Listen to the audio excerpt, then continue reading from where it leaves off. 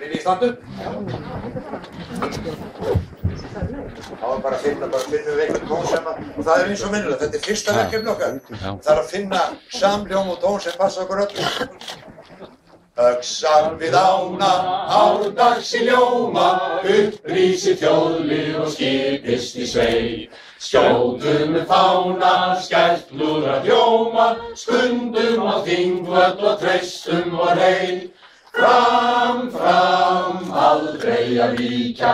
Fram, fram, bæði menn og fjór Tengist friðarböndum, tökum saman höndum Stríðum innum vorrið þjóð.